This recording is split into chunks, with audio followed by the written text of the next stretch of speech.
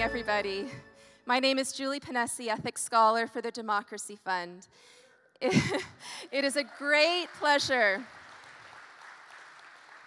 It is a great pleasure to be able to welcome you here tonight, those of you who are here in our live audience, and I want to extend a special welcome to those of you joining us from home via Zoom.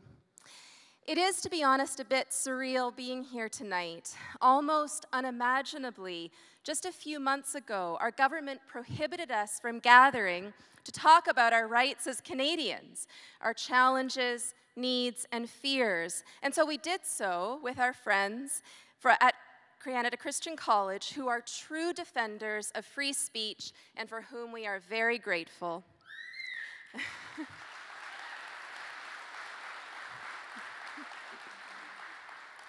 The last two years felt more like something out of a dystopian novel than a Canadian reality, and yet it was all very real. And though we seem to be moving through the intensity of the crisis, we are here tonight because we've learned the hard lesson that even in Canada, freedom cannot be taken for granted, and that we need to keep discussions about our civil liberties front and center if we are to have a chance of holding on to them. We are just coming off of a very big couple of weeks for our country and for the Commonwealth generally. We saw the appointment of a new Prime Minister in the United Kingdom and the election of a new leader of our federal Conservative Party.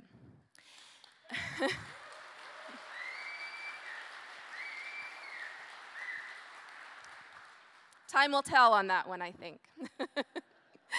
And of course, we lost the longest serving monarch Britain has ever, and quite likely ever will have. Elizabeth II was a true leader, and leaders, in the truest sense of the term, weave people together in spite of their differences rather than tear them apart on account of those differences. One of my favorite quotes from the late Queen, and it seems timely, I think, and fitting to quote her tonight, is when life seems hard, the courageous do not lie down and accept defeat. Instead, they are all the more determined to struggle for a better future.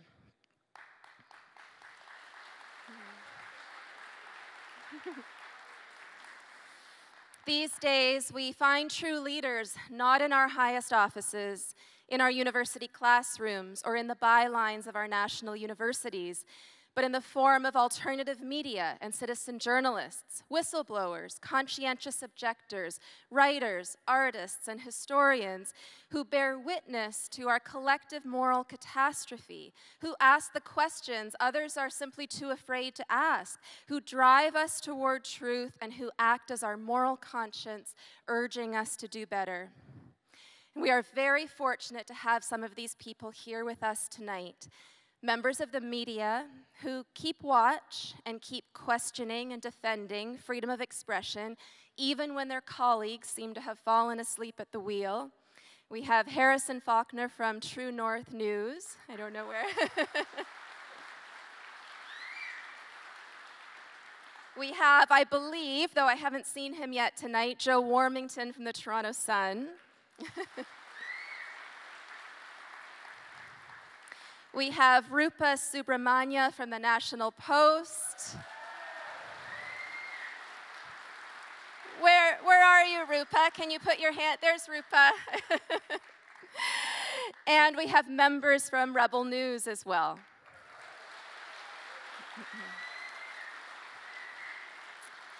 and a very special guest, a woman who lives and breathes the principles of freedom and accountability you probably know who I'm talking about, Tamara Lich.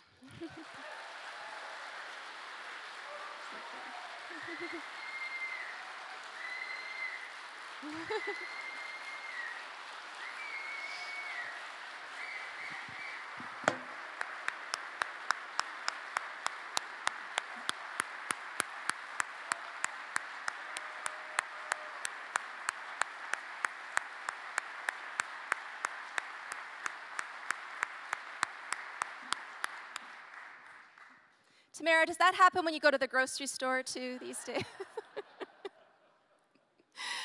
And though I'm a bit biased, we are also very fortunate to have organizations like the Democracy Fund, or TDF, born from the need to preserve our fundamental constitutional rights freedom of conscience and religion, of thought, belief, expression, of peaceful assembly and association.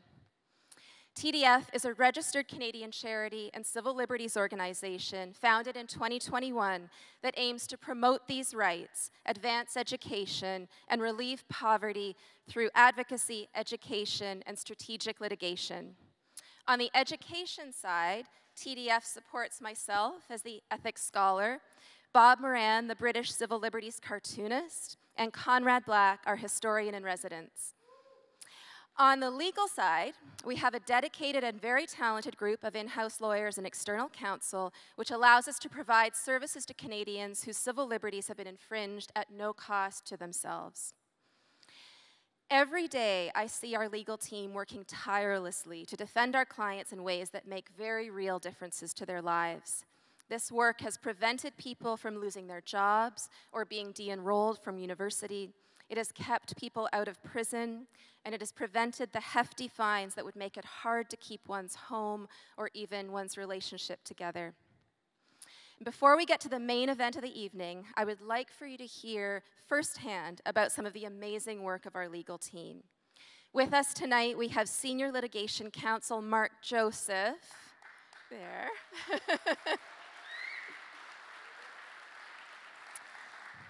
Our lead paralegal, Jenna Little. Jenna, if you're here, can you put up? and our Director of Litigation, Alan Honner. Alan practices in the areas of civil, criminal, and constitutional litigation. He has been a lawyer since 2011 and currently serves as TDF's litigation director. Alan will be representing TDF at the upcoming public inquiry into the federal government's invocation of the Emergencies Act. Please join me in welcoming very dear friend Alan Honner.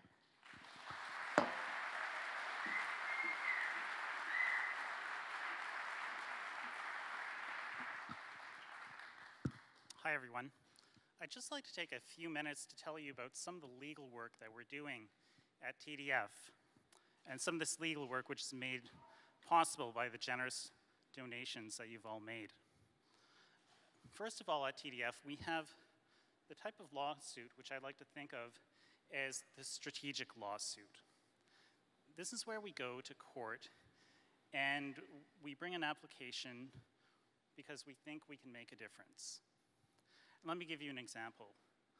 On Monday of this week, my colleague Mark Joseph joined forces with a lawyer named Lisa Bildy an academic named uh, Bruce Pardy, and they challenged the University of Western Ontario's booster mandate. They said that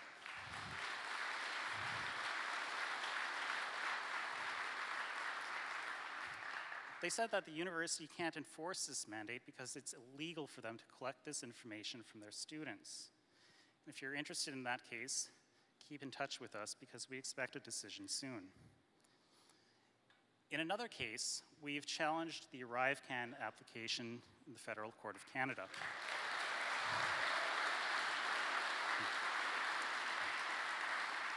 I, I won't go into the details, but we're saying that the government didn't pass this law properly, and if they did, it's completely opposed to our charter rights, which protect, uh, which protect privacy. In another case, which you might remember, we defended a man named, Ar named Artur Pawlowski.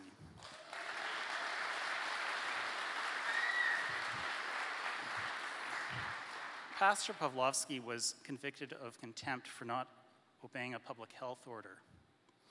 But not only was he convicted of contempt, he was also given a script by the judge. He was told that he had to recite this script every time he spoke in public. And this script just happened to be opposed to everything he was believing, everything he was even speaking about. So, yes, indeed. With your help, we partnered with a lawyer named Sarah Miller. We took this case to the Alberta Court of Appeal, and Pastor Pawlowski was completely exonerated. And Not only that, but it turns out that this script that the judge gave him was actually unconstitutional. Now, you can read uh, more about our cases on our website. You can read about how we're going to the Public Order Emergency Commission, and hopefully we'll find out why our Prime Minister uh, really invoked the Emergencies Act. Before I get off the stage, I'd like to just tell you about some of the other cases we do. And I think this is actually the most important work we do. This is where we help individual people. My colleague, Adam uh, Blake Galipeau, he's in court almost every day fighting for people who have been charged criminally when all they really did was attend a peaceful protest in Ottawa or in Windsor. Or we have my colleague, Jenna Little. Uh, Jenna, I don't know if you're here, and I, hate, I would hate it if somebody did this to me, but can you stand up for a second if you are here? There she is. Jenna leads, uh, let me tell you just a little bit about Jenna. She leads a team of four paralegals here in Ontario. They're representing over 1,300 people. And, you know, we sat down and we did the math because she's, she's helping people with quarantine tickets, with masking tickets, with gathering tickets. And we've discovered that she has saved Ontarians uh, over $11 million in fines. So thank you, Jenna. And I, I just wanted to tell you about something that, that you won't see. I know whenever we get one of these tickets uh, withdrawn, uh, people will come back to us and there is just such a wave of relief that they experience. These are families who are maybe making fifty, sixty, seventy thousand dollars. They're faced with five to ten thousand dollars in in, in uh, fines, and it makes such a difference to them. And you should know that. And thank you very much. And I hope you enjoy the conversation tonight.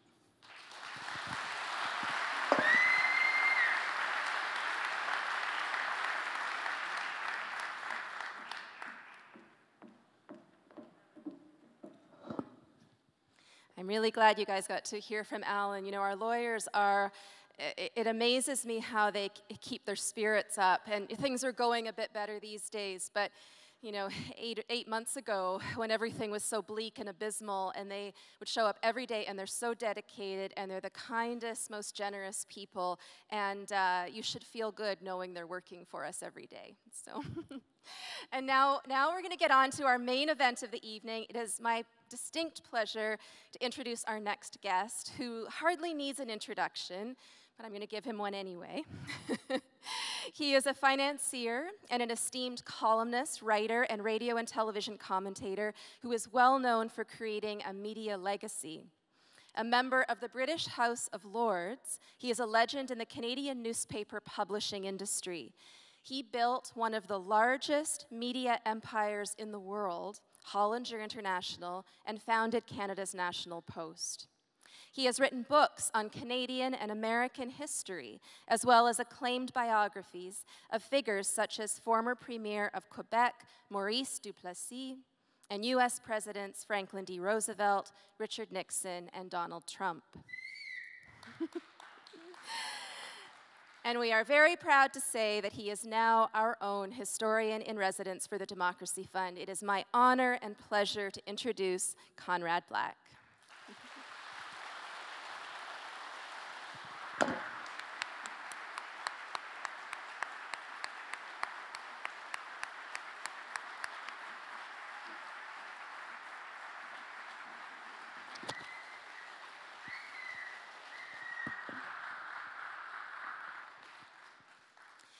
To join our historian in residence on stage as his special guest, a great Canadian in his own right.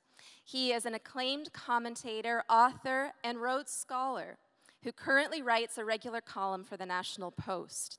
He was a frequent guest on CBC's The National, as well as host of CBC Radio 1's Cross Country Checkup for 21 years. Born and raised in St. John's, Newfoundland, he graduated from Memorial University and later attended Oxford. Famous for his biting political commentary, his razor sharp intellect, he's really, I think, a sort of a modern Socratic torpedo fish. I might say. and his acrobatic vocabulary, all of which I'm sure you will see tonight. He is a legend in the broadcast industry and continues to keep our government, our journalists, and us on our toes. Please join me in welcoming Rex Murphy.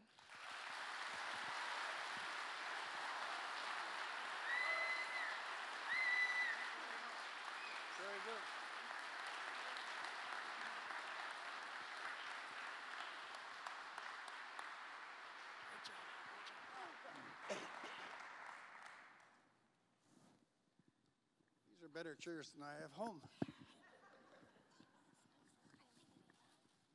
I believe it. I'm expected to begin, and I want to start by thanking you all for coming and greeting those who are watching via the internet. And I particularly want to greet my friend Mr. Wakelin, a local candidate for school commission, who for the second time in a row at a public event where I spoke came up to me and said that he had come to hear my jokes. I, I, I, hope, I hope I satisfy him tonight better than I did the first time. Uh, but I was assigned a rather sobering subject on that occasion. I thought, if it's agreeable to everyone, I would just, um, and particularly to you, Rex, I would just give a little background, very short, concise background on the history of civil liberties in this country. Uh, uh, just the general context of how that uh, subject has been treated in Canada. And then we can get on to particular points, more contemporary ones, which uh, Rex and I will, I think, probably have quite trenchant opinions that I hope most of you would agree with about them. Uh, Canada actually, and it's hard to believe it today listening to all those claiming that we have a systemically racist society, uh, for opposing that view, by the way. I was fired from the radio station 640. I forget what the letters are. In the old days, it was Ted Rogers station. That wouldn't have happened with Ted. But um, uh, I was fired, and my friend Mark Steyn quit in solidarity with me because I said this was not a systemically racist country. And it isn't. It's one of the least racist countries in the world. There is.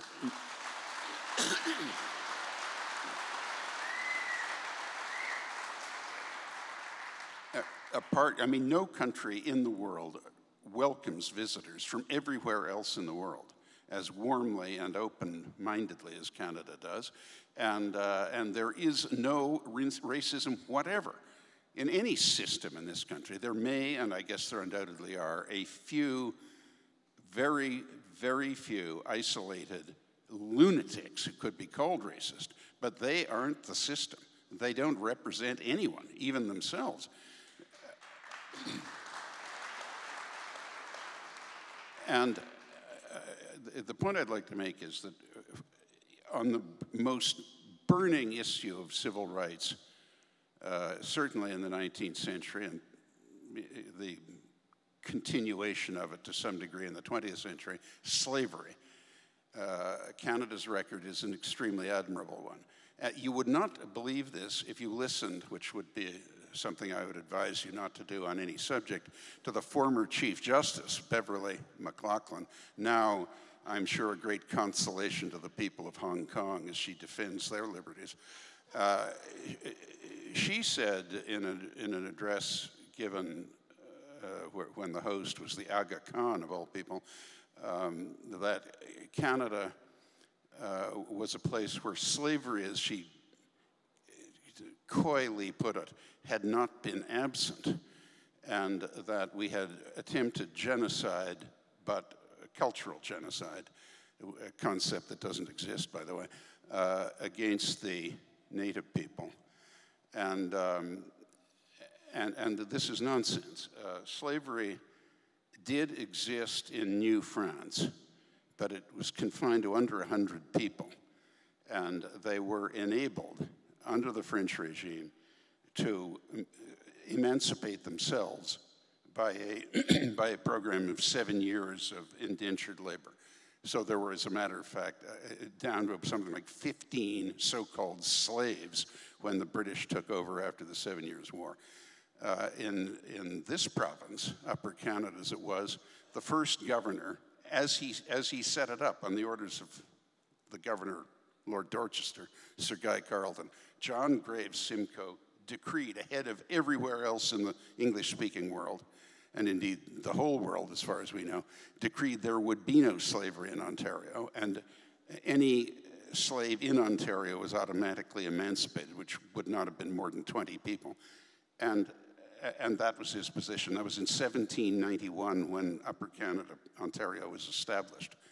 And with the British Empire, slavery, the slave trade was abolished, I believe, in 1807, and slavery itself in 1833.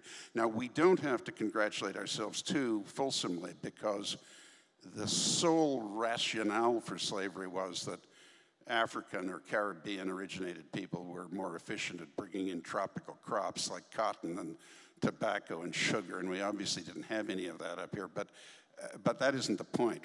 We had no slavery, and Canada became a self governing entity starting in, with the so called United Province of Ontario and Quebec in 1848. It had been abolished in the whole British Empire 15 years before that, and in practice in Canada 50 years before or more. What was the Chief Justice talking about, and why did she say such things? I don't think I'm going to get an answer, and I can't offer one myself. Um, or at least not, not one adequately polite for such a distinguished occasion as this. Um, it, it, I, I we'll, we'll, get to the native people later. That is more complicated. And I, just my last word on slavery is that the only place where there was any was amongst the native people who enslaved each other in these terrible wars they had with each other. Um, that was not what uh, Beverley McLachlin had in mind. In, in fact, Canada has, partly because of its officially bicultural nature, it, it, is, it is the only transcontinental bicultural parliamentary confederation in the history of the world. And by nature of that fact, it, it, it is obliged to be reasonably tolerant, at least compared to other countries.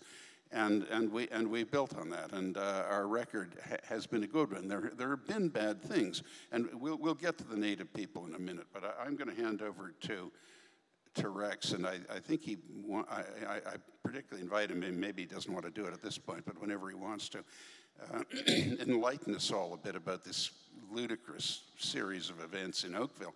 But I, I just make this point that um, when there have been issues in this country, we have dealt with them. Uh, there, there, the, the segregation of any kind was, was dealt with very effectively and comprehensively and spontaneously throughout the country. Uh, of course, we didn't have the legacy of slavery, so we mustn't make unfair comparisons with countries that did, like the United States. But there are those very active, very vocal, and almost impossible to get away from in this country today, trying to hang around our necks like a toilet seat the idea that this has ever been a slavery supporting country. And I don't want to labor the point, but um, we get that in, other areas. And I would just mention two that are very contemporary and which are, I'm sure, as aggravating to most of you as they are to me. We have been duped by the native victimhood industry. I bet that.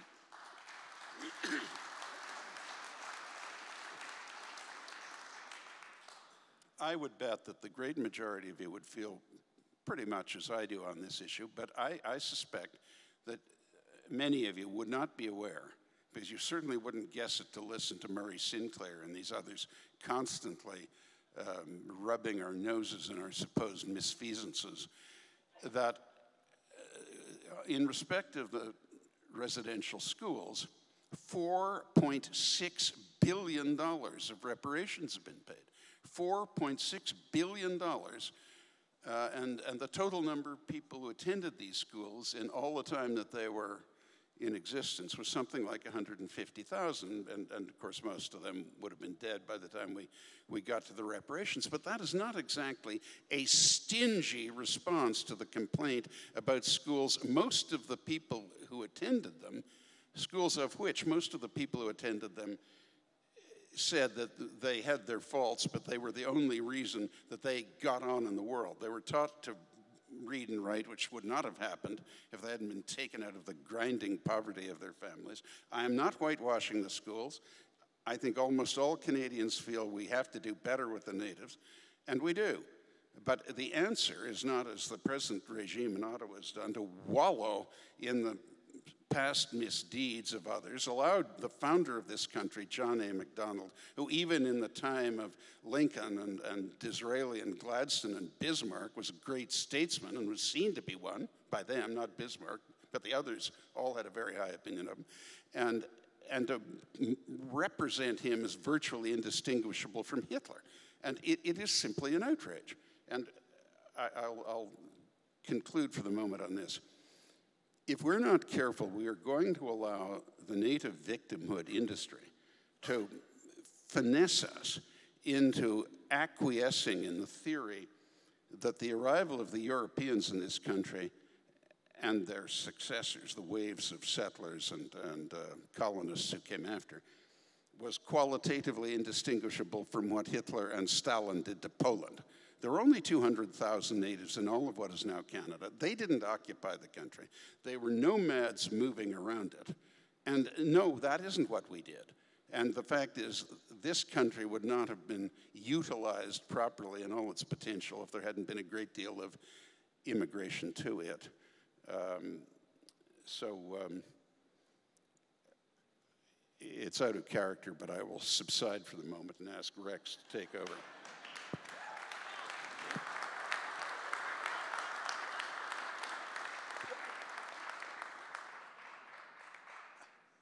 First of all, uh, this is going to be a technical question. Uh, I'm not sure how, I'm not used to these things. Uh, I worked at an organization that frowned on any overt manifestations of competence.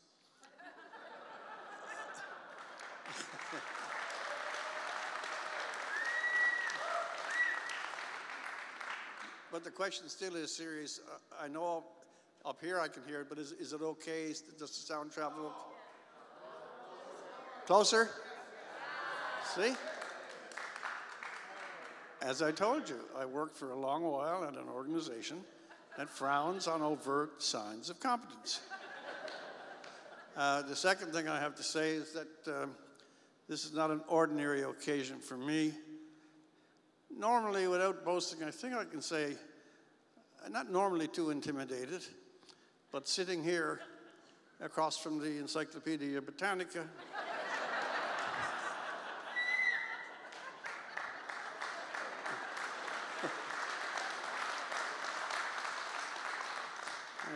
I don't know if any of you have ever seen a, a spruce tree in Newfoundland. They, they get so stunted by the onshore winds that they don't grow vertically, they grow horizontally. They slide across the land. Uh, me sitting here now next to Conrad is like a Newfoundland spruce tree compared to an English oak. this is a very difficult chair to be in, very difficult. Uh, the reason that Conrad opened with some account of the historical nature of civil liberties in this country is because he knows about them.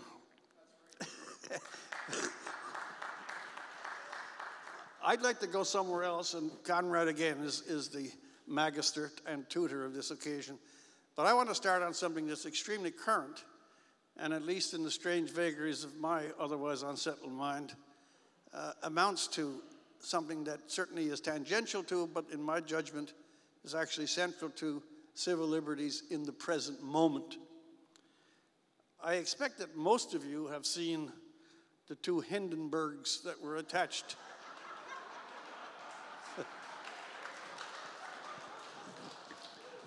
that were that were attached by some prosthetics uh, uh, to the gentleman that they call a, a tech master in Oakville. And you might, well, apart from the fact that it's both absurd and hilarious at the same time, it does, it does, I'm serious here, it does come to civil liberties. As I was talking with Conrad earlier, everyone is familiar with the executive power to limit civil liberties. We just had COVID for two years, uh, which was an iceberg going through the entire Charter of Rights and Freedoms. That's an exercise in the demolition of civil liberties. And then we had the Opportunistic Election and the Emergencies Act, Uh, that was bringing the guillotine down and shredding what little value the charter did have.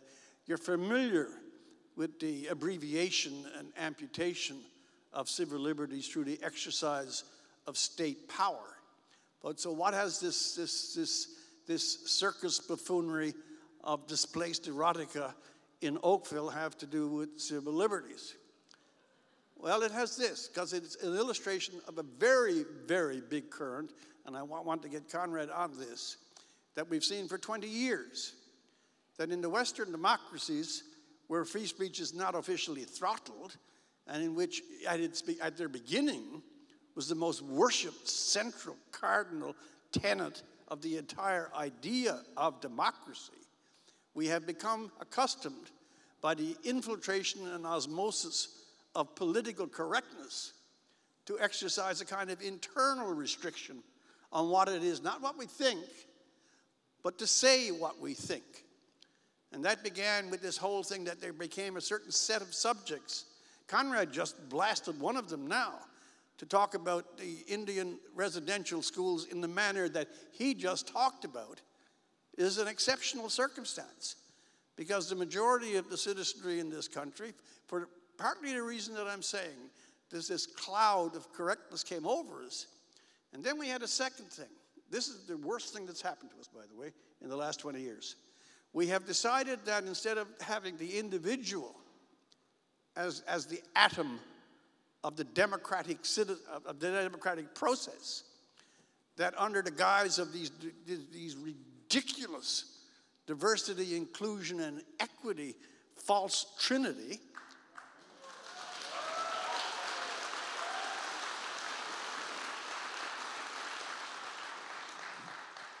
that we measure, we measure rights by designated groups. And by the very fact that you have designated groups, it means you have undesignated groups, and that there is not an inequity, there is a measurable inequality in the operation of civic power and civic license. And now I come, you thought I forgot about it. I'm coming back to the Hindenburgs. in Oakville, what is transparently and to anyone with a functioning mind of more than four neurons, there is something there that is simply, utterly wrong, ludicrous, possibly, I'm not saying it is, possibly perverted. But even, but even, but even in Oakville, and I've talked with the some of the parents that are there, the parents themselves were some of them are crying. I had an email today, I won't say from whom, of a mother that was crying because her children are going to eventually be in that school. But they are not speaking. And here's where I'm coming home.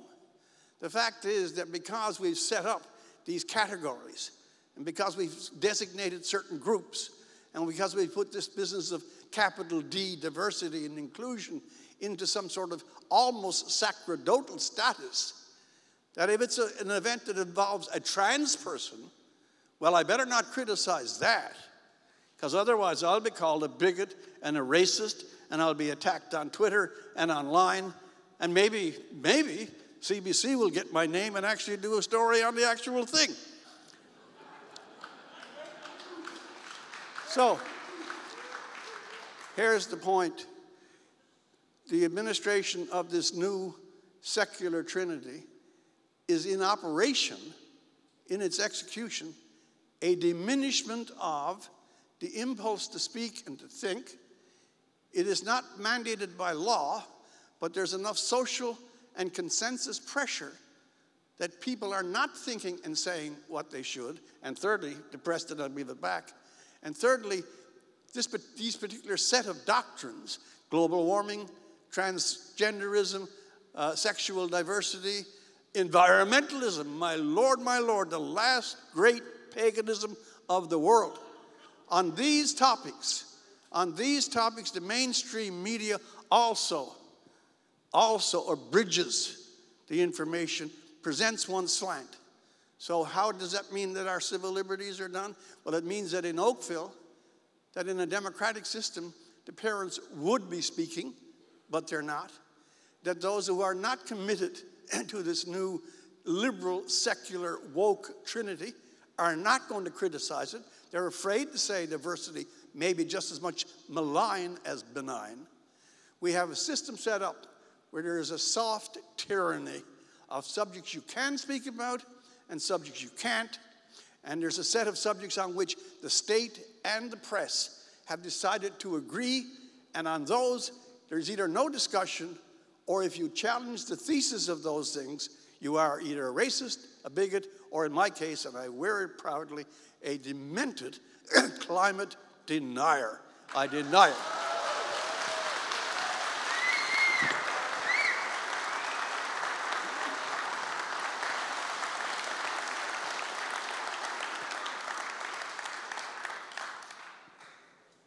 Needless to say, I agree with everything Rex has just said. and, and, I want to, um, I want to build on it a bit. Uh, the fact is, and I don't want to make this a particularly partisan occasion, but uh, we only have the government we have in Ottawa, and uh, they've had an astonishing and shaming fact three consecutive terms now, or three consecutive elections, even though in the last two they got fewer votes than their chief opponents. But their entire program, as far as I can see, has essentially consisted of a gross misrepresentation that is virtually a blood libel on all of us on the matter of indigenous issues. The a, a hysteria about climate that is reminiscent of the 17th century Dutch tulip madness, where people were selling tulips for $25,000 each. Just a, mass hysteria on, on a, a, a, fixated object uh, without any comprehension of what you know, what the real facts are as far as they can be ascertained. And third is this rubbish of gender issues. Uh, it, the whole gender issue argument is nonsense, and we are, as we all know, now reduced to the unspeakable absurdity that any of us could, uh, you know, report to any organization that we attend, a workplace or uh, social or uh, church congregation or anything, and announce that we self-identify as Martians, and we have to be taken seriously in that. Uh, although in, in, not in this place, but th those who have brought those conditions around might make it on that claim. But yeah, but, but the, um, the, the fact is, the answer to the whole gender issue is there are only two sexes. There are only two. But the sexuality of each individual is up to that person without coercion or offense to public decency to work out for themselves. That's the issue. And people should be able, everyone should be able to fit in. And uh, I mean, unless they're just extraordinarily sociopathically deranged, they shouldn't have any problem with those guidelines.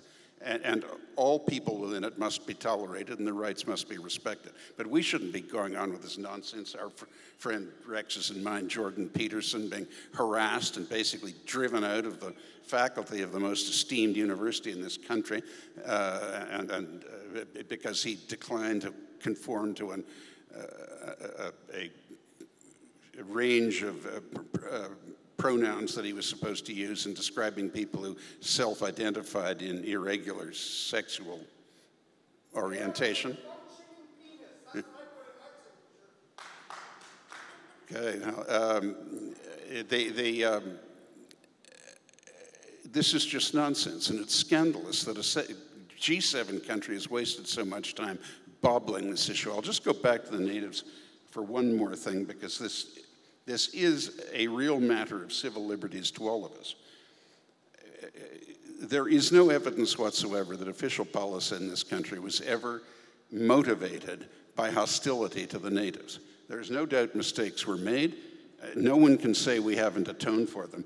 But I, again, would be surprised and impressed if most of you were aware that there is still sitting out there with the ostensible statement in general by all major parties that they wish to enact its general recommendations. The recommendations of the 1996 uh, Commission on Aboriginal Peoples. It was set up by Brian Mulroney, but reported out after he'd retired. That commission, amongst other things, recommended that one million square miles, a third of the entire territory of Canada, be carved up into various First Nations, sovereign nations in a confederacy between themselves, exempt from federal and provincial taxes in this country, and entirely subsidized and paid for by the taxpayers of the country. This is insane. It is, in fact, what the late Malcolm Muggeridge used to call the great liberal death wish. And it, it, no one has had the effrontery to try and enact it, but there can't be any doubt that that's where some of these native leaders are trying to lead to. We invaded their country like Hitler and Stalin invaded Poland, and this is what they should get. And, and let, let us remember in that as well is the theory that the arriving civilization was, uh, was entirely on a par with the one they discovered here. No one's talking about superiority of people. The natives are the equal of us and everyone else. No question of that. But some civilizations are more advanced than others. The native society discovered here was nomadic. It hadn't discovered the wheel. It had no written language. It had very little agriculture. They lived on fish and game, except for a few places. They had very few permanent structures. And, uh, and, and, and the people who arrived, whatever the failings of the settlers and the failings of Europe itself were, uh, uh, people who had come from the civilization of Shakespeare and Descartes and Leonardo da Vinci. I mean, this is all nonsense. We're being labored by self demeaning nonsense. And, and, we, and as Rex has said, any of us, including both of us, who actually say that it's nonsense have to prepare ourselves for. I mean, I'm fairly perverse and I've been around the track a few times and it doesn't bother me particularly. But we get a degree of um, abuse and mindless, half witted, uh, and frequently defamatory condemnation that is no intellectual display of strength by our cultural and ideological enemies. That's who we're dealing with. And they're not all that distinguished, most of them. And as we're about to get to, one of the threats to our civil rights in this country is the utterly, unacceptably incompetent performance of 90% of our media.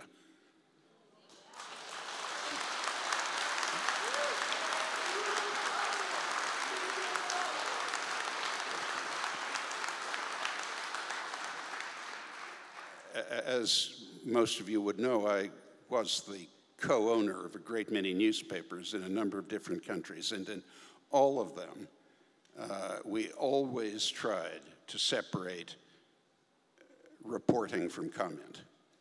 Everyone was welcomed, unless they were completely mad, to put in any comment they wanted as long as they signed it as their opinion. Uh, but uh, there is nothing left of that that I can find in this country. I don't know what the editors do for a living other than just get in the ads and the text that they, that they can and put them in the space they have. Because nobody supervises the reporters and said, uh, and says so, you know, that uh, in, in, a reporting story on a speech by a politician that the speaker is an imbecile and his address is a tissue of lies from A to Z, that uh, that is actually a comment rather than an act of reporting. We just don't have it anymore. And it, you know, it's the old, uh, much uh, applicable expression, garbage in and garbage out. And ultimately, we're not going to have an informed electorate unless we have a higher standard of media integrity.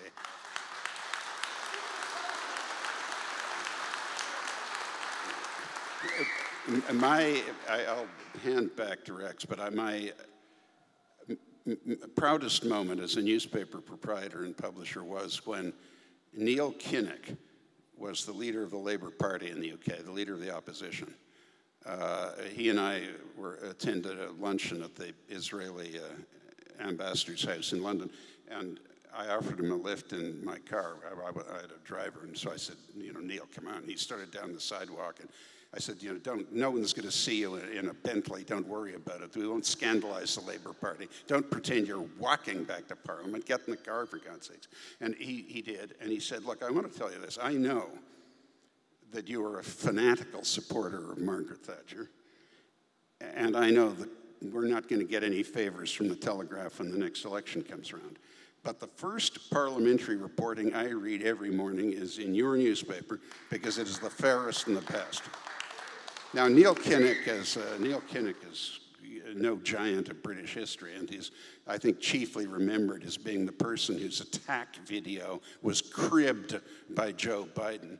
Uh, all that business about how we're the first person in our family in a thousand generations who went to a university, to which we replied, by the way, that the, uh, the prejudicial admissions to universities policy of the Cro-Magnons was very notorious. But, uh, but that was that I felt, and I told him this, and I told our editors that, very, very flattered that he would say that, because that's what we need. Okay.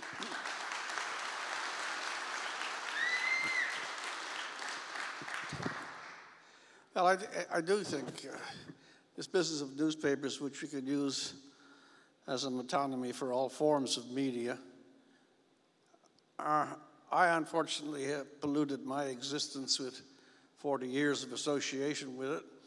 Uh, but having no life, it doesn't really matter. Uh, one, uh, one thing, without rhetoric, without any false raising of, of, of anger or rage, that is truly sad. And again, it's not directly on civil liberties, but in a sense, uh, it is at the very center of the integrity of the functioning of democracy and therefore is about civil liberties. Is that the press, and I don't know exactly when it began, but I, I, if it were me, uh, I'd pick when John Kennedy got elected. And I would go a little further then uh, when Nixon, uh, who was another demon figure, one of the first big demon figures of the press, and when they, when they make demon figures, incidentally, or when they, when they decide that such and such is a demon figure, uh, some, elements of the press then saw that as a license to abandon the strict canons of accuracy, uh, double quotation, double certification of fact, and in fact, objectivity itself.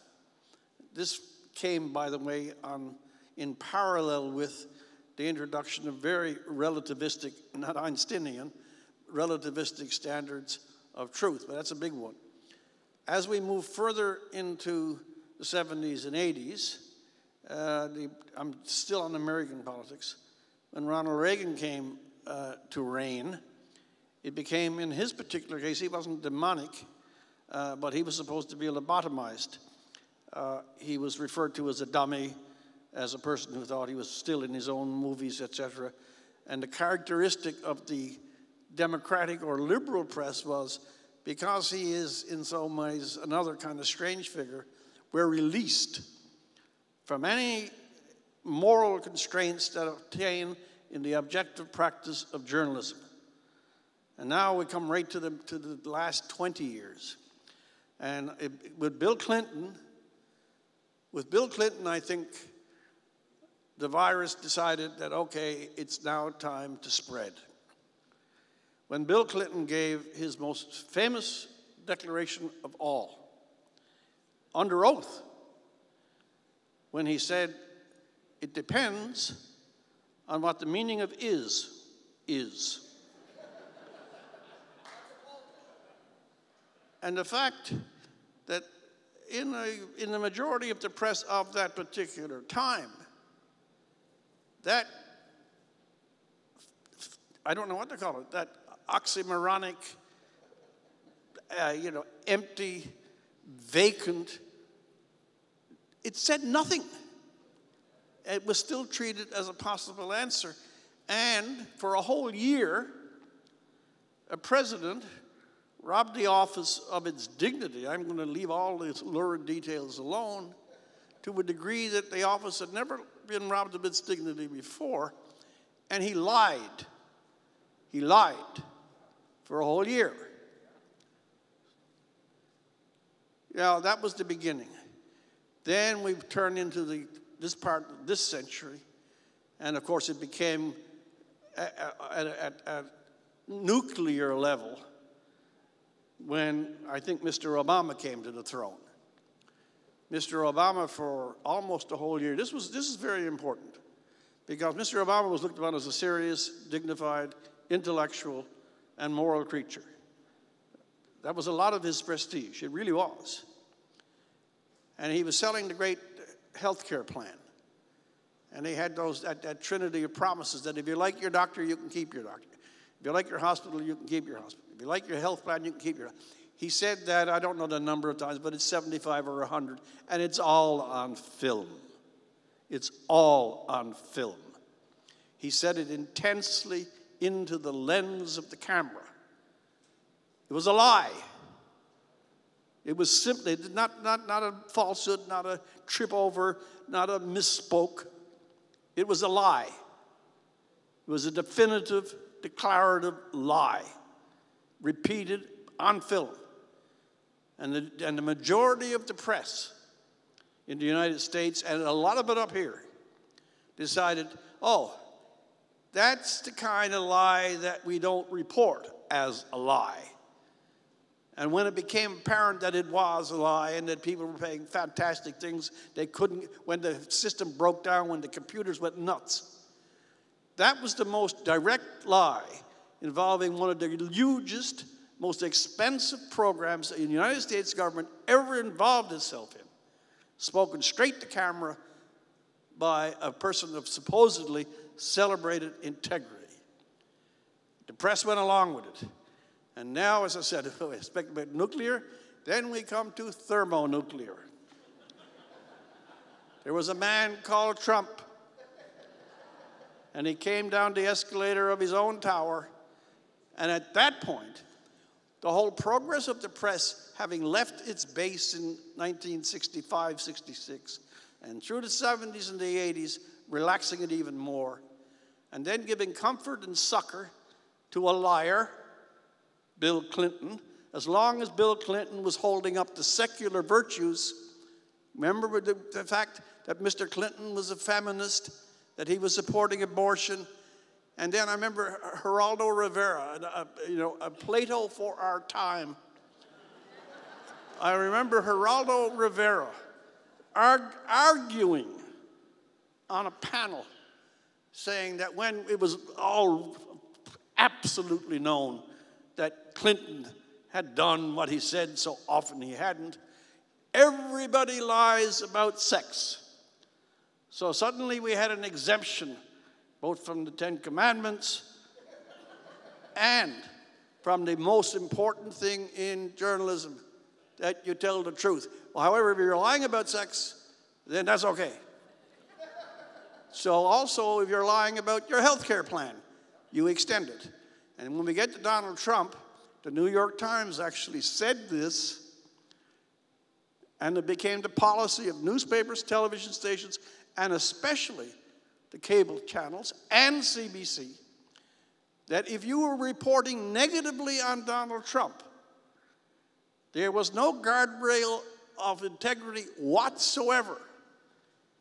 If a parrot flew by the window and said that Donald Trump had just slaughtered some baby lamb, then the parrot would be on the front page tomorrow morning. The press has become corrupt because it decides now that it is no longer a player, it is a part of the instrument of politics, and it joins forces mainly with secular, woke liberalism. The press is not an observer, it is a participant in the game. This is a fact.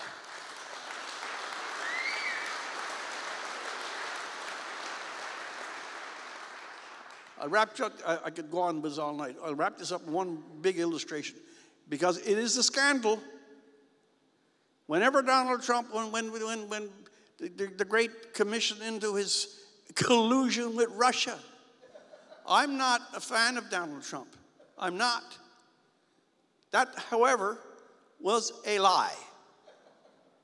Hillary Clinton, Christopher Steele, the Democratic Party, the FBI, the CIA, the manufactured dossier, this was all fed from the Democratic establishment.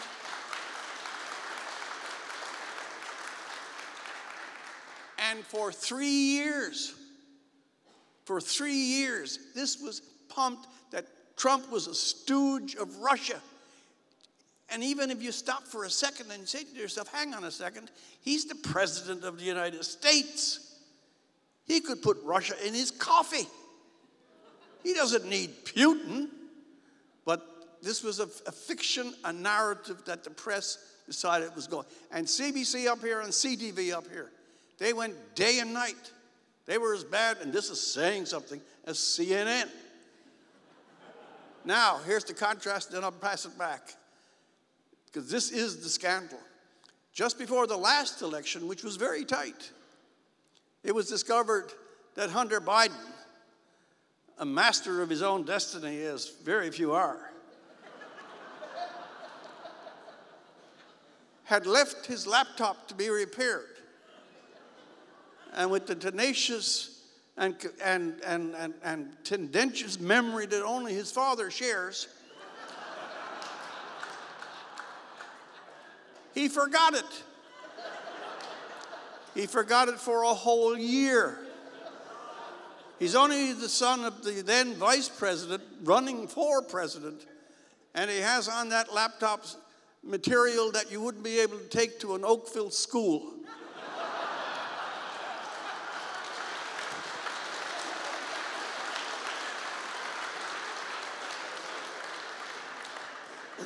The New York Post, a paper of standing and the oldest newspaper, I think, in the United States, got information on the laptop A, that it was genuine the photographs were not tampered with, and they were disgusting.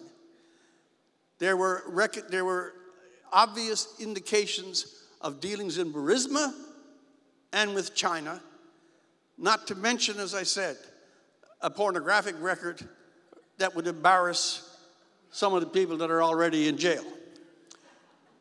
Twitter, Facebook, Twitter decided to suspend the account of an American newspaper two weeks before an election suspended the story from the internet. Facebook followed next. This is two weeks before an American general election. Two things. It is impossible to believe that if Donald Trump Jr. had left a laptop with the same gallery of acrobatic exhibitions and evidence that he was being paid $50,000 a month from companies in the East and China, and that his father was possibly part of it. That would be that would not only be printed in the newspapers and put on television screens, it would be dented into the pavement of all of North America. You would be reading it as you walked the street. CBC did not cover the Hunter Biden laptop. 20, uh, 50 former intelligence operators in the United States signed a joint letter saying that while they didn't know it was Russian propaganda, it had all the hallmarks of it.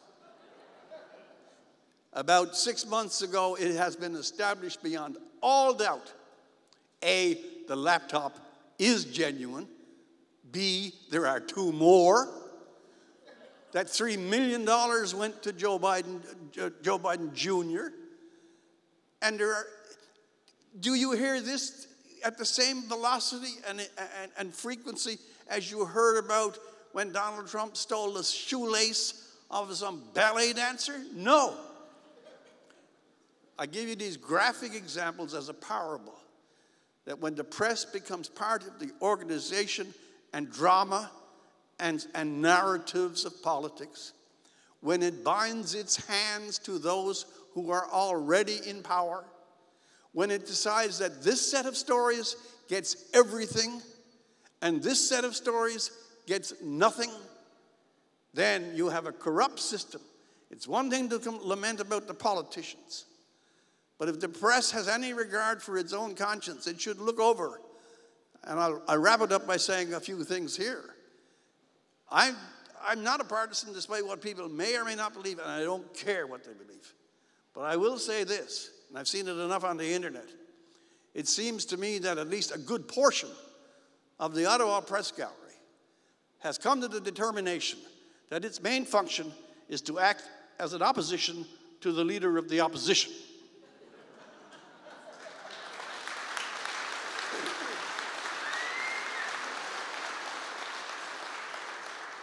and any story that goes in a different direction. The biggest story now of a kind of gruesome nature is the one I began with, with, with the sex maniac in Oakville.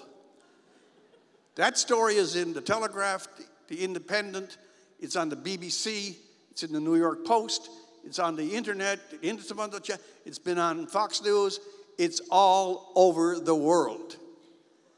Go home tonight, go to the damn Google, Put CBC, CTV, Global, Oakville, Trafalgar, High School, blimps. and you will not get very much news. You cannot, you cannot conceal the information that people should have and claim to be oppressed. You cannot take sides and claim to be oppressed. And if you are concerned with civil liberties and the operation of a democracy, if the press is deliberately corrupt, or corrupt from simple inadequacy, then our democratic system will fall.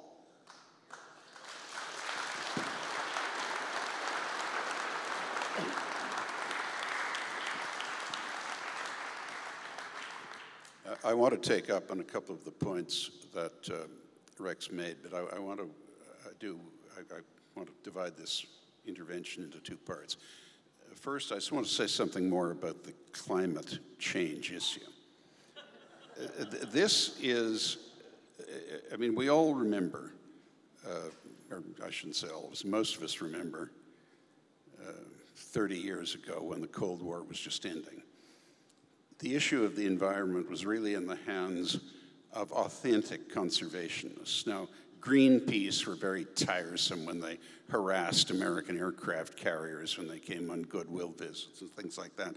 But, but they were authentic conservationists. So, uh, you know, so were the Sierra Club and these others. They cared about the environment. They were overzealous, some of them, and some were just, just eccentrics, like you know, bird watching clubs and butterfly collectors and things. But good people sincerely identifying with our environment, which we all care about.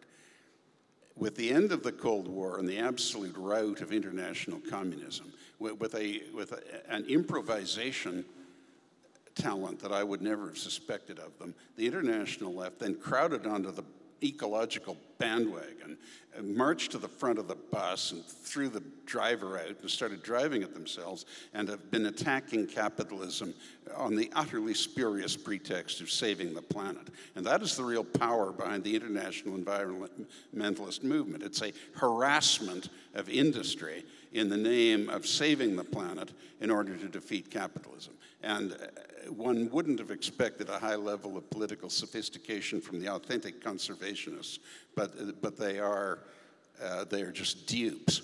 And uh, we all care about the environment, we all dislike pollution.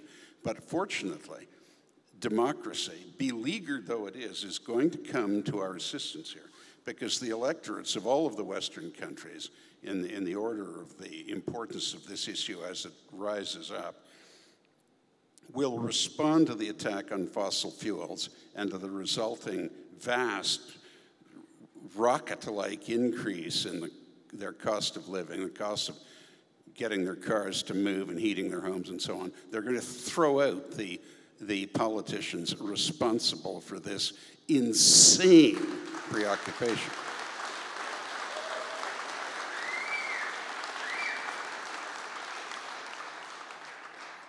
The American questions that Rex discussed, to some extent, our media, to a large extent, our media are just taking the feed from the US. The American media's performance in all of these issues, on Mr. Nixon, whom I knew, uh, and, and uh, Julie kindly mentioned that I wrote a book about him, and Donald Trump, whom I certainly know, and, and Ronald Reagan, and some others, uh, and, and on a good deal of policy has, has been absolutely scandalous, disgraceful, and with that uh, panache and, and energy that is unique to American. It's love of the spectacle. It has gone to extremes that we, as cautious Canadians, do not approach. Our media are just quietly, cowardly, invertebrate, dishonest, and irresponsible. But the American media are, are, are ferocious. Uh, they, they, all, all serious countries have a mythos of sorts, and the American one is essentially the America of Norman Rockwell and Grandma Moses and Walt Disney. I don't mean Mickey Mouse, I mean you know, the wholesome communities and Davy Crockett and so on. And, and that exists, but it's really a facade. Uh, the real United States is a jungle. I know something about that. And, and it, is a, it is both a strength and a weakness. You have this tremendous level of productivity in every field. an absolutely uh, incomparably productive workforce. Uh, and, and generally a tremendous motivation personally and in the citizenship that they hold. Um, but it also is a jungle which, like all jungles, is run by 30 foot constricting snakes and 700 pound cats and millions of innocent and relatively defenseless, defenseless people are ground to powder in that system. I'm not a socialist, but uh, they could do better in the US. That's not our problem here.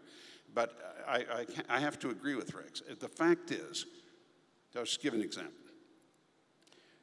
Richard Nixon had his opponents in control of both houses of the Congress all the time he was president. Uh, when he came into office, there were riots all around the country, everywhere, every week race riots, anti war riots skyjackings, been the assassination of Robert Kennedy and Martin Luther King. For, you know, there, there were no relations with China, no meaningful discussions about anything with the Soviet Union, no peace process in the Middle East, and uh, the orders of the courts were to use the school buses of the school districts to take tens of millions of children from their district schools and bus them around metropolitan areas to get racial balance uh, in the school system. This is what happens when you let judges run the country. Well, Nixon ended segregation without recourse to that. He, uh, when he came into office, there were 550,000 draftees in Vietnam. No exit strategy. No one knew what the hell they were doing there, including the trigger pullers. 200 to 400 were coming back dead every week. Nixon extracted all of them while maintaining a non communist government in Saigon. He opened relations with China, triangulated great power relations, negotiated and signed the greatest arms control agreement in the history of the world, SALT I, in which, incidentally, the United States recovered nuclear superiority, which Kennedy and Johnson and Bob McNamara had given away. There were no riots, there were no assassinations, there were no skyjackings. And despite the hostility of the press, Mr. Nixon was reelected by the greatest plurality still in American history, despite the fact that the electorate has almost doubled in size since his time 18 million votes because of how outstanding a president he was. His was next to Lincoln and FDR's first and third terms, the most successful term of any president in history. Does anyone know that? Does anyone know it? Except Nixon specialists who approach the subject with an open mind? I, I, hate rhetorical questions, so the answer is no, nobody does. And we have the media to thank for that. Uh, you, have talked about the Russian Trump thing. I mean, can we just focus for an instant uh, on, on how close to the guardrails the American system is getting when you have the former director of national intelligence, Clapper, and he and Brennan, the director of the CIA, both lied to Congress, never prosecuted never even a slap on the wrist. They finished their terms. Clapper announced on national television in a speaking tour he took all around the Western world that the incumbent president, Donald Trump, was a Russian intelligence asset. He said, I, I don't suspect that. I, it may happen. Some say it. Nothing like that. He stated as a fact. You know, like saying, uh, Boston's the capital of Massachusetts. I mean, it's just a fact, you see. And, and uh, as, I won't dwell on this because Rex summarized it extremely well, but we should reflect on the fact that the Deputy Attorney General, both Sally Yates and Rosenstein, uh, the director of the FBI, Comey, uh, other prominent officials, all signed these false affidavits, which they knew to be false, to get authorization under FISA warrants for illegal telephone intercepts of the Trump campaign and the Trump transition team after he'd been elected. Anything happened to any of them? No, nothing. Well, I'm not, and I hope none of you are here to bash America. I'm actually, despite the fact that there are few people in this country that would have a greater reason to have grievances against that country than I do. But it is a great nation. It is an incomparably great nation, but it is what it is. Now, it's a democracy. They can run their country any way they want, and it's no one else's business. But can you imagine the credibility and the credit that the, that the Canadian media would get, since we're sitting here, we have a ringside seat on the vast drama of the United States that no one else has. If we actually put out, on one hand and on the other hand, reporting about the United States, uh, and, and we, we have the ability in this country to get our media into the American media. Not as great as theirs to do the reverse, but we have it. It's an, it's an opportunity for our media. But oh no, our media are parrots, witless, hopeless, stupid, incontinent parrots on domestic and foreign affairs.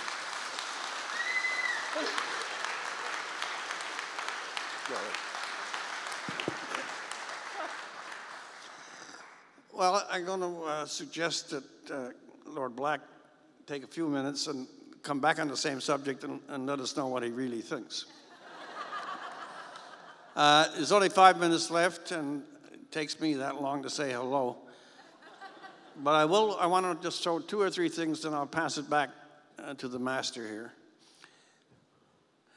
One of the things that is most worrisome about our system is that we have so much, in relative terms, comparative terms, so much comfort, so much ease, so much freedom from catastrophe and disaster, war, famine, the things that plague the majority of the countries of the world, and certainly are the entire canvas of history. I mean, even three or four generations ago in Canada, your grandfathers, great grandfathers, great grandmothers, great grandma, they knew work, toil, exposure, danger, lack of health. They knew, Newfoundland, 1930s. We have got so cozy. We've got smug or lazy or condescending. We don't value the things that built the place we now live in at such a high level of civilization.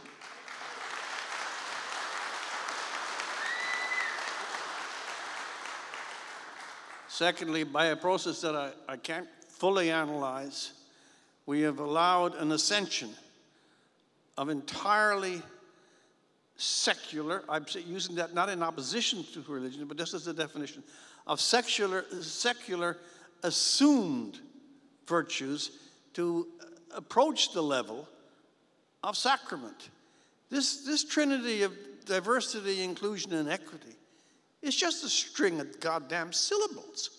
But when you hear people talking about it, it's like the 14th century, you know, eremites visiting the Vatican.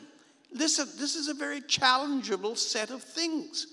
And because it's become so tight, and because the media does not do anything except applaud, support, and libel those who question it, we're approaching stages of lunacy that we're looking ridiculous in the rest of the world. Listen, we cannot have school boards continue to abandon the whole idea of education so that they give them themselves the power to shape minds according to their tiny minds.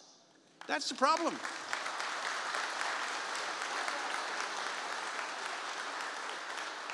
Final thing, and I'll be very short. We are in a democracy. It isn't Russia. It isn't China. And thank God it's not North Korea. We are self schooled in this idea that we shouldn't say things. I, I have no patience when I hear someone, especially in the media. Uh, if you have a large family, maybe it's different. But I can't say that because I might get fired. Well, who cares? If you.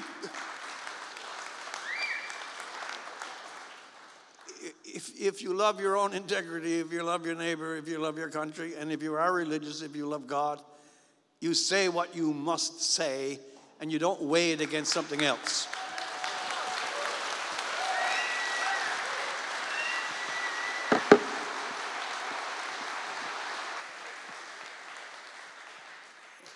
We're right down to the end. I'll be very brief. I just want to set out a, a hopeful idea. Uh, I, I, think, you know, if we, if we accept in general, I, I, know I've waffled a bit and understated it and been unclear in what I think, but uh, if, if, we, uh, if we could get a general consensus, and the question was put, well, what, where do you start trying to make it better and fix it up? I believe we have to start in the schools. Uh, to me, the greatest the greatest irony in modern affairs in our, all our Western democracies is that we spend more and more and more on education and get less and less well educated graduates.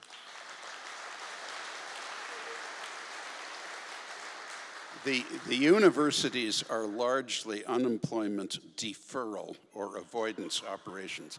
Uh, we run up huge fiscal debts, and individuals, especially in the United States, where tuition is much more expensive, run up great personal debts, which they then, of course, are, agitate politically to be liberated from. Uh, in order to graduate, astounding numbers of people in fields from which they are incapable when they graduate of making a living. Uh, you know, with stupefying numbers of graduates in gender studies, this kind of thing. Well, we've got to start all over again. We have to start in the public school systems. These aren't schools at all, they're daycare centers.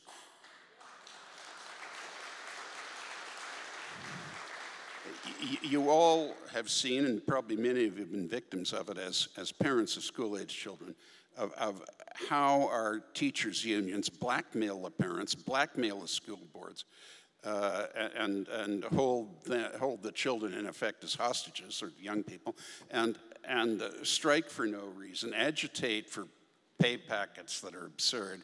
And we saw it all through this COVID crisis where uh, the teachers' unions were in lockstep shoulder to shoulder from coast to coast, saying that it was a menace to their health, no matter how heavily masked they were, no matter how people were vaccinated, no matter what the numbers showed, uh, to actually go back to school. Well, uh, we're going to have to get rid of the teachers' unions, incentivize good teaching, and make a commitment to it.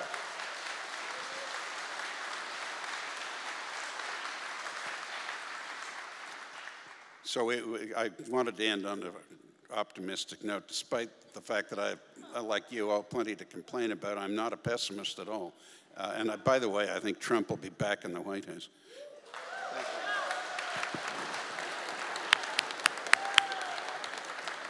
I'm, I'm here to cut off your speech. You can just uh, call me Justin Trudeau. Thank you. Thank you both so much to the oak tree and the spruce tree? Or should I call you master and, wait, let me get this, demented climate denier? Grasshopper, grasshopper. Thank you so much to you both. You know, this is exactly what free speech looks like. This is exactly what it looks like to have a discussion with eh, an informed, alert, people whose minds are working on a regular basis and talking with one another, even though I suspect occasionally you disagree. But, but you agree about the important things. I hope that this gave some of you insight into Canada's history of civil liberties and where we are now. I hope it also gave you some hope and a little peek into the legal work of TDF. And I want to thank our audience, everyone who's here tonight, and especially those of you who are joining us from home on Zoom our stars of the evening, Conrad and Rex, our special guests in the audience, our hosts, Charles McVety, and everyone at Canada Christian College, the incredible team at TDF, who I have to say just works tirelessly behind the scenes to make everything you saw tonight happen, and for our enduring donors, of which we're just incredibly grateful. Our legal work, as you heard tonight, is entirely supported by your donations, and every day in little and big ways. Our legal team is the David to our country's Goliath. And we want to be able to continue to do this incredibly important work, but we can't do it by ourselves. And so if you feel moved by what you saw tonight in this incredible discussion that's part of the, our education work, and it, you heard from Alan firsthand the legal work that he and our other lawyers are doing and our paralegals are doing every day, um, please consider donating. Every single dollar matters. Um, all the donations are tax deductible, and you'll notice that you have little cards, I believe, under your seat. And if you're interested in making a donation, I think some of, we had to add some seats at the end, so not everyone has one. But either way, if you want to make a donation on your way out or on your way to dinner, uh, that you can do so when you exit these doors. I believe there's a table on the left. It should be pretty obvious where you can do that. Also, for those of you who have a dinner ticket, the dinner's unfortunately sold out. I'm, I'm told that it's very delicious. So if you come back to another event, you'll want to make sure you get a ticket for that. But you go out the doors, turn to your right, and go into the little room where we had the reception. And thank you again so much to everyone for coming tonight. Safe journey home. Hope to see you at one of the next events, and take care.